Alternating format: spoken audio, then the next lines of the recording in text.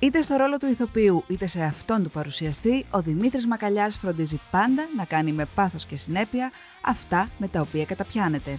Αν και σπούδασε στο Τμήμα Πολιτικών Επιστημών και Δημόσιας Διοίκησης του Εθνικού Καποδιστριακού Πανεπιστημίου Αθηνών, η αγάπη του για την υποκριτική τον οδήγησε στο να δώσει εξετάσεις για το κρατικό θέατρο Βορείου Ελλάδας. Το τηλεοπτικό του ντεμπούτο έγινε το 2005 στη σειρά Ο Θησαυρός της Αγγελίνας. Έκτοτε ακολούθησαν πολλές πετυχημένες δουλειές με αποκορύφωμα το κάψε το σενάριο, μια πρωτότυπη εκπομπή με αυτοσχεδιασμούς μαζί με τους Λάμπρο Φυσφή, Ζήση Ρούμπο, Ιωάννα Τριανταφυλλίδου και Γιώργο Βαγιάτα. Η παρουσίαση μπήκε στη ζωή του το 2014 στο πλευρό της Κατερίνας Καραβάτου και του κρατερού Κατσούλη και όπως φάνηκε ήρθε για να μείνει, αφού τον απολαμβάνουμε κάθε πρωί στην εκπομπή Ποιος είναι πρωινιάτικα. Με τη σύζυγό του Αντιγόνη Ψυχράμη είναι μαζί από το 2013 και η οικογένειά τους αποτελείται από τον πρώτο τους γιο, τον Χάρη και την κόρη τους, η οποία γεννήθηκε πριν από λίγους μήνες.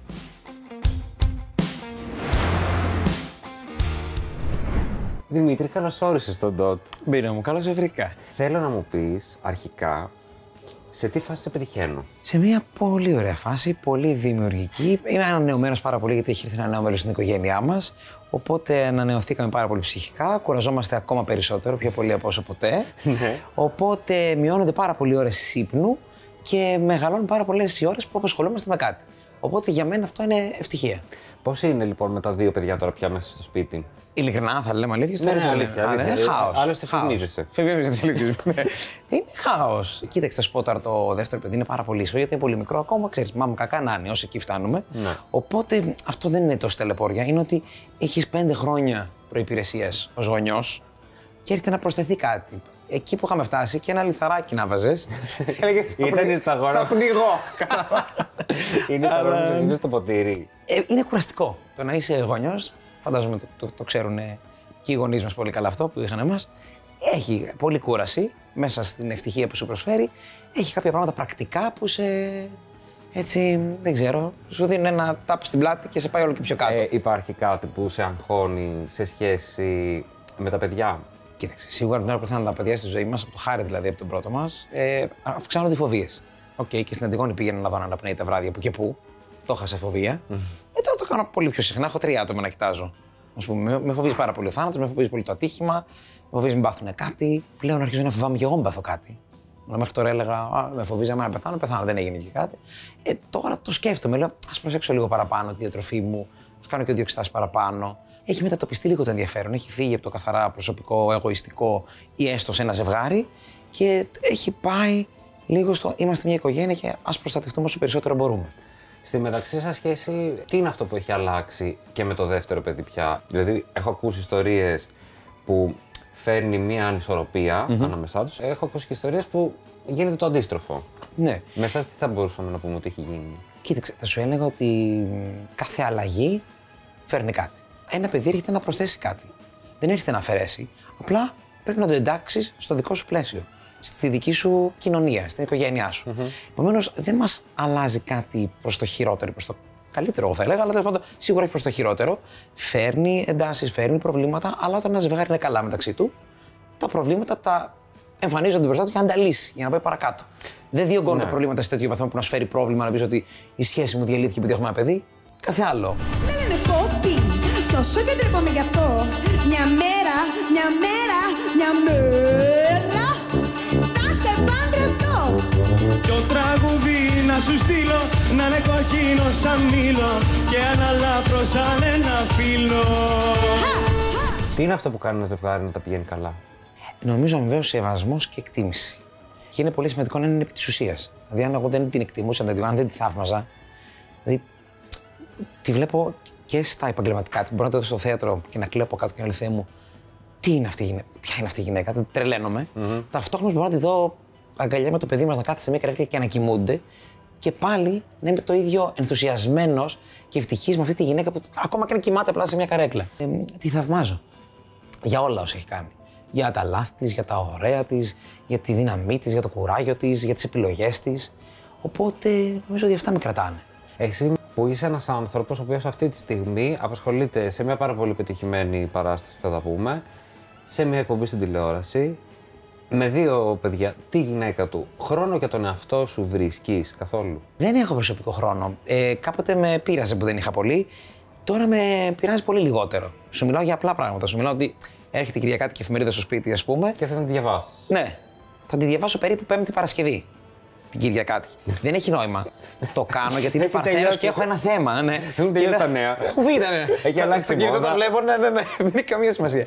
Αλλά λέω, όχι, σε πείσμα, λέω, θα κάτσω την πολυθρόνα μου. Και θα κάνω ότι είναι Κυριακή. Ναι, τρει ώρα τη νύχτα Πέμπτης. Θα κάτσω να κάνω ότι τη διαβάζω. Και πάω σελίδα σελίδα. Παλιά νέα. Δεν πειράζει, το πώ περνάω. Θα δω τις επικεφαλίδες εδώ αυτά. Αλλά να αισθανθώ ότι είχα αυτό το χρόνο το δικό μου, αυτή είναι η πολυτέλειά μου, ξέρω εγώ, να αφιερώσω αυτά τα 10-15 λεπτά να διαβάσω την εφημερίδα μου, το βιβλίο μου, κάτι τέτοιο. Θα ήθελα να ήμουν μπροστά την πρώτη φορά που θα έκανες προσπάθεια να φλερτάρεις μια κοπέλα. Ε, τι λες, θα ήθελες να μεταβούμε σε μια κοινωνική δραστηριότητα όπως η οπτικοακουστική εμπειρία του κινηματογράφου; Ω, θα έλεγα να περάσουμε κατευθείαν στην δραστηριότητα ανταλλαγής υγρών, χρησιμοποιώντας ένα μπαλονάκι από λάτεξ.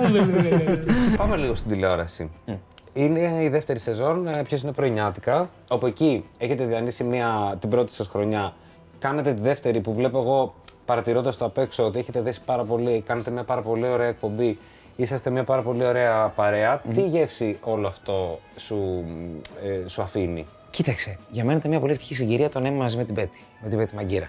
Δεν την γνώριζα πριν, ήξερα έτσι λίγο το ταβραμμένο της και όλα αυτά, αλλά περνάω πάρα πολύ ωραία. Ξεκινάει η μέρα μου πάρα πολύ ευχάριστα.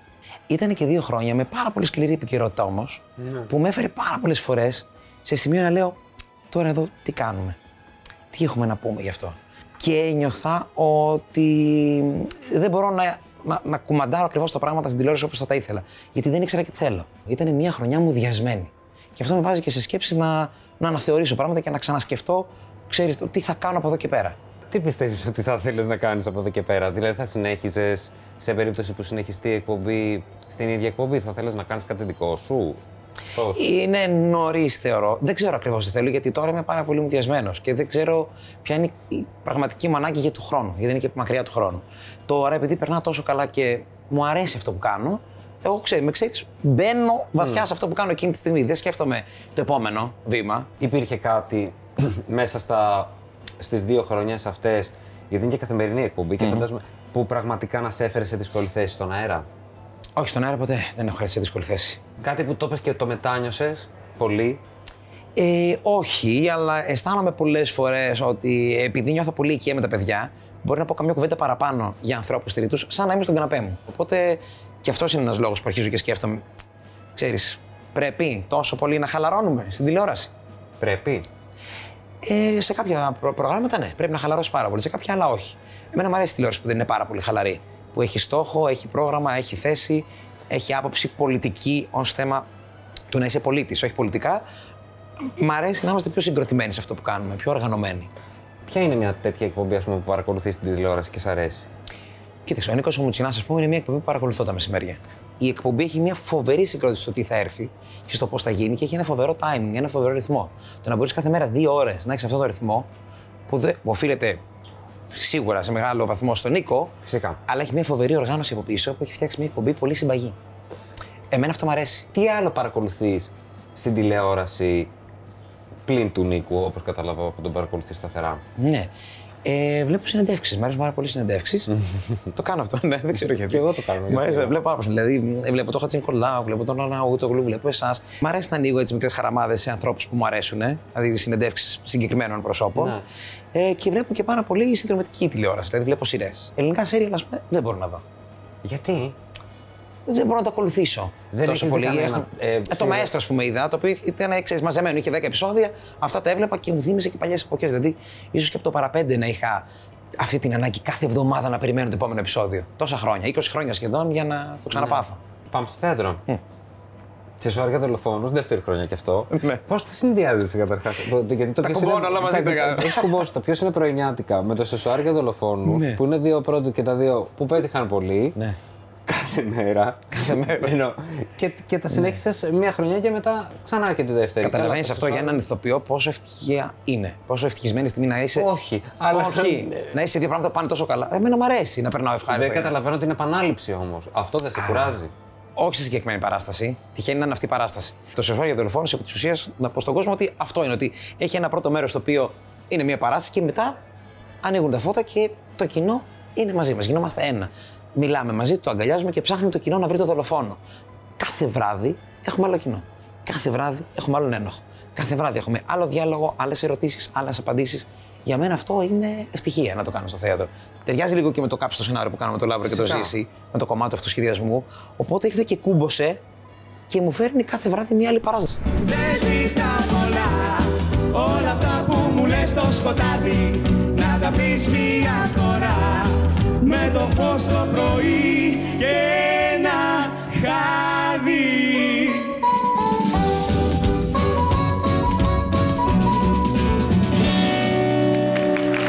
Τηλεοπτικά είναι κάτι το οποίο θα το ονειρευόσουν, ενώ θα ονειρευόσουν να, να παίζεις σε μια σειρά ξέρω εγώ, εποχής, ε, που έχεις παίξει, λέω, αλλά Ναι, ναι. να ξαναπαίξεις. Θα ήθελες να κάνεις ζωντανό πρόγραμμα καθημερινό, θα ήθελε να κάνεις ένα παιχνίδι, θα ήθελε να κάνεις ένα μεγάλο σοου. Γιατί η αλήθεια είναι ότι θα μπορούσες να τα κάνεις όλα αυτά.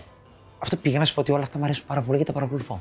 Οπότε θα ήθελα πάρα πολύ να κάνω ένα τηλεοπτικό show μεγάλο που δεν υπάρχει. Πέρα από το Just the Two of Us, ας πούμε, δεν υπάρχει κάτι άλλο μεγάλο, ζωντανό. Το Δεν voice είναι, είναι, έχει ζωντανό μετά. Ναι, δύο Εντάξει. επεισόδια. Θα μου πεις αυτά τα δύο τελευταία. Είμαι τελικός ή τελικός. Όχι, λέμε ότι κάθε εβδομάδα να έχουμε ένα ραντεβού, να έχουμε μια ρούλα κορομιλά σε όλα τα κανάλια. Κατάλαβε τι γίνεται. Και σε όλα τα κανάλια από μία. Από μια ρούλα παντού. Ή πολύ Δηλαδή, έξοδο. Ναι, πολύ έξοδο. Αλλά θα ήθελα να υπάρχουν show, επειδή μου, μου λείπουν. Απ' την άλλη, ελαττεύω να παίζω σε μια σειρά μυθοπλασίας. Δηλαδή, αν μου έλεγες να παίξω στο μέστρο, θα τα σταματούσα όλα για να πάω να παίξω στο μέστρο σε δύο επεισόδια. Το λατρεύω κι αυτό. Όλα έχουν κάτι διαφορετικό. Θέλω να μου πεις ένα πράγμα που μπορεί να σε βγάλει, ένα χαρακτηριστικό ανθρώπινο ή μια συμπεριφορά που μπορεί να σε βγάλει εκτός αυτού. Γενικώς. Άκου τώρα, το χαρακτηριστικό μου το έχεις δει και το ξέρεις. Γι' αυτό ρωτάω. Δεν μπορώ να με κοροϊδέψεις. Δεν μπορώ να έχουμε συμφωνήσει κάτι και εσύ να θέσει το λόγο σου. Την Να- εξαπάτηση Είναι δηλαδή. εξαπάτηση, ρε παιδί. Θα σου πω ότι δεν με πειράζει, το ξέρεις γιατί έχουμε βιώσει μαζί ένα σκηνικό τέλος πάντων όπου μας χρωστούσαν χρήματα και μας κοροϊδεύανε. Όλες Την τις κοροϊδία φορές. δεν μπορώ. Ναι, ναι, ναι. Ε, τι να τα πούμε αυτά. Ε, οπότε δεν με πειράζει ένας άνθρωπος να μου πει: Ξέρεις τι, δεν μπορώ να σε πληρώσω. Ή να βαρέσεις μια επιστολή και να μου πει: ε, Τα χάσα όλα. Τι να κάνω, δεν έχω να σου δώσω τα χρήματά σου. Θα το δεχτώ πιο εύκολα από το να με κοροϊδεύεις και να με τρενάρεις και να μου λες ψέματα. Αυτό με βγάζει από τα ρούχα. Την αλήθεια την αντέχω, την κοροϊδία. Γίνομαι άλλος άνθρωπος. Δεν ξέρω τι γίνεται. Γίνομαι, βγάζω νύχια, βγάζω, αλλάζω χρώμα.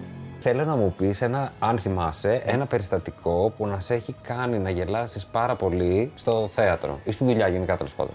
Ναι, πρόσφατα θα σου πω. Για να. γιατί με το Λάμπρο και το Ζήση κάνουμε ξανά γυρίσματα για το κάψιμο σενάριο. Ε, το κάψιμο σενάριο δεν έχει πεθάνει τώρα 10 χρόνια, συνεχίζουμε να το κάνουμε. Ε, αλλά το κάνουμε διαδικτυακά ή σε παραστάσεις live και τέτοια. Όλο το- Απλά δεν γίνεται στην τηλεόραση. Ναι, ναι. Ό,τι πετυχαίνει πολύ το βγάζει τηλεόραση. Δεν ξέρω τι γίνεται. Ναι, είπα, κάποιο λόγο θα έχει. Anyway, λοιπόν, με τα παιδιά, επειδή είναι αυτοσχεδιαστικές παραστάσεις, δεν ξέρουμε ποτέ τι θα γίνει.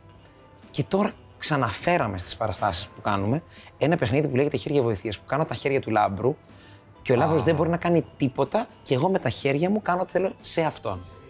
Οπότε βάλαμε ένα τραπέζι με πάρα πολλά τρόφιμα και, έπρεπε να να, τον να τον ταΐσεις. ταΐσω. Λοιπόν, αλήθεια, δεν με έχουν ξανακούσει έτσι τα παιδιά. Σταματήσαμε το γύρισμα γιατί ούρλιαζα, είχα, έκλαιγα, είχα κοκκινήσει. Πήγα να πάθω ανακοπή γιατί δεν μπορούσα να δεχτώ την εικόνα που έβλεπα με το λάμπρο με αυτά που έτρωγε και έφτιανε, όχι με τόσο παραλίγο να κάνει. Και δεν ήθελα να σταματήσω. Μου άρεσε τόσο πολύ που τον βασάνιζα που γελούσε πραγματικά με την ψυχή μου με την κατάτια του άλλου. Το κάψε το σενάριο. Θα το ξανακάνατε στην τηλεόραση. Μπορώ να σου πω ότι σχεδόν κάθε χρόνο ή άντε κάθε δεύτερο χρόνο γίνεται πρόταση σε τηλεοπτικά κανάλια για να το κάνουμε αυτό. Τους κάνετε εσείς ή σας κάνουν τα κανάλια; Εμείς. Εσείς. Κάθε φορά. Και δεν το θέλουμε. Α, ναι. Ναι, πάτε σταματά. Δηλαδή, όταν πάμε να κάνουμε. Δηλαδή, το παρουσιάζουμε σαν ένα show, έχουμε προτείνει πολλά διαφορετικά πράγματα. Το δοκιμάσαμε κάπως στο, Μέγκα. Μέγκα, το απόψε μόνο. Το οποίο νομίζω κάναμε ή δύο ή τρία επεισόδια. Τι έγινε με αυτό; Το κόψανε. Α, Αυτό. Ήταν σαν να μην ξέρουν τι θέλανε. Κατά, δηλαδή, πήραν ένα project, αλλά δεν, ε, δεν το περιμένανε έτσι, όπως το είχαμε πει.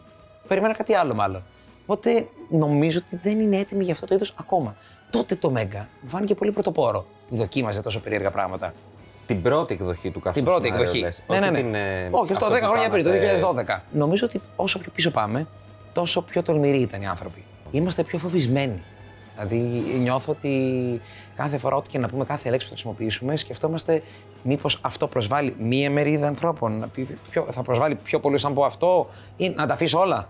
Αυτός έχει προβληματίσει κάνοντας ε, ζωντανή εκπομπή καθημερινά. Με Πολύ. το- με- Φοβάμαι πάρα πολύ μην πω κάποια λέξη η οποία είναι λάθος, ας πούμε. Υπάρχουν πλέον έχουμε ε, ενοχοποιήσει κάποιες λέξεις, θα έλεγα. Δεν ξέρω γιατί. Και πρέπει να προσέξεις. Και μου έχει συμβεί κιόλας. Δηλαδή, με έχει προσβάλει άνθρωπος γιατί χρησιμοποίησα λάθος λέξη για κάτι που δεν ήξερα. Ε, πολύ συγκεκριμένα, ξέρω εγώ, ήταν ένας άνθρωπος που ήταν σε ένα αναπηρικό αμαξίδιο. Και εγώ είπα: Μήπως θέλετε να σας βοηθήσω με το καροτσάκι. Το τι άκουσα που το είπα καροτσάκι και δεν το είπα αναπηρικό αμαξίδιο, δεν φαντάζεσαι. Οπότε είπα: Δεν ξαναλέω τίποτα. Προκειμένου να πω κάτι λάθος, δεν θα πω τίποτα. Δηλαδή, πρέπει να προσέχεις πολύ περισσότερο και με μαγκώνει. Με πιέζει λίγο. Υπάρχει κα- ένα μήνυμα, μάλλον θέλω να μου πεις το πιο αλόκοτο μήνυμα που μπορεί να έχεις λάβει. Σίγουρα τα ερωτικά μηνύματα είναι πάρα πολλά που λαμβάνεις. Δέχεσαι. Ναι, ναι, ναι. Ε, με την Αντιγόνη το έχετε μ, εννοώ μ, ισορροπήσει. Ενώ την ενοχλεί άμα δει ότι σε φλερτάρουν με σωστό. Καλά, δεν γίνεται τόσο συχνά, αλλά πολλές φορές τη έχω δείξει κιόλας πράγματα. Δηλαδή το συζητάμε. Πώς το διαχειρίζεσαι. Ε, καλά, γελάμε, ρε παιδί μου. Άκου, για να σου έρθει ένα τέτοιο σχόλιο, συνήθως είναι κάτι που γίνεται ε, πολύ ακραία, πολύ έντονα. Ναι. Οπότε σχεδόν είναι αστείο. Σχεδόν και ο άλλος που στο στέλνει δεν περιμένει ότι θα ανταποκριθείς σε αυτό. Το ξέρει ότι το κάνει πιο πολύ για να σε τσιγκλίσει. Την Αντιγόνη, άμα τη φλερτάρουν, εσύ πώς το, δια- πώς το διαχειρίζεσαι; Δεν μου αρέσει καθόλου και δεν έχει γίνει. Άρα δεν μου το Δεν λέει. μ' αρέσει. δεν μου αρέσει καθόλου και δεν θέλω και να μου το δείξει. Δεν θέλω. Εσύ δηλαδή θες να πας να, να τη Εντάξει, γιατί με μου φαίνεται αστείο, αλλά δεν, βασικά τώρα που το λέει δεν το έχω σκεφτεί. Γιατί ποτέ δεν μου έχει δείξει κάτι; Μήπως επειδή ξέρει ότι δεν θα σα αρέσει πάρα πολύ. Δεν μ' αρέσει. Πιστεύεις ναι. ότι δεν υπάρχει περίπτωση να τη φλερτάρουν καθόλου; Όχι, υπάρχει περίπτωση τώρα γιατί μου βάζεις αυτό το μικρόβιο. Δεν μ' αρέσει. Όχι, δεν ήξερα ότι θα το, θα το σκεφτείς τώρα που στο είπα. Νόμιζα Τώρα ότι το μπορεί σκέφτομαι. και να Δεν το- μου παίρνει από το μυαλό ότι ότι μπορεί να έτσι- συμβαίνει και δεν μου το λέει. Απλά λέγα δεν συμβαίνει μάλλον, δεν τις στέλνουν. Μπορεί να τις στέλνουν. Δεν περνάω καλά τώρα. Εντάξει, κοίτα, δεν θέλω να κλείσουμε με αυτή τη γεύση. Όχι, όχι, δεν θα θέλω Ας τέλο. θυμηθούμε μια πάρα πολύ ωραία ιστορία που έχουμε περάσει μαζί. Τι, για πες. Δεν ξέρω, εσύ πες. Μαζί. Σίγουρα είναι σε μια παραλία στην Κεφαλονιά που σε θυμάμαι που είχες έναν Αυτός εκνευρισμό. έχει μείνει, Μου αυτός έχει μείνει έχει μείνει. πολύ ωραία στιγμή γιατί. Ε, μπορώ να σου πω ότι ήσουν σε μια ευάλωτη στιγμή, ε, πανέμορφη, συναισθηματικά ευάλωτη και αποφάσισες να πας να σταθείς πάνω σε ένα βράχο. Να μείνεις μόνος. Αυτή τη στιγμή, σαν φωτογραφία, μπορεί κανείς να σκεφτεί λίγο και την Κοπεχάγη, τι μπορεί να βρει εκεί, ήταν πραγματικά μαγική. ένα. Και μία άλλη στιγμή για μένα πραγματικά καθιερωτική που γελάμε ακόμα και σήμερα με την Αντιγόνη είναι όταν είχαμε πάει στη Σκιάφα περιοδία και βγήκαμε να παίξουμε σε αυτή την υπέροχη παράσταση που έχεις γράψει εσύ.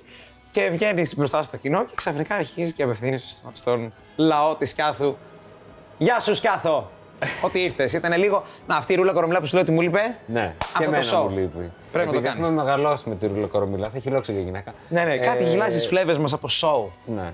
Θέλω να σε ευχαριστήσω πάρα πολύ Κι εγώ. που ήσουν κοντά μας. Σε ευχαριστώ πάρα πολύ και εμένα ήταν πάρα πολύ μεγάλη μου χαρά και ελπίζω αυτό το καλοκαίρι να έχουμε και ε, στιγμές μαζί σου.